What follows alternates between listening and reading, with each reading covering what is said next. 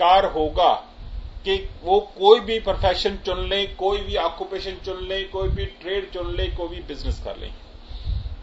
All citizen shall have the right to practise any profession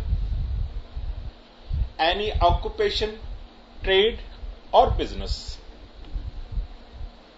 लेकिन इसमें क्या है इस एक्ट में? हम रिस्ट्रिक्शंस लगा रहे हैं रीजनेबल रिस्ट्रिक्शंस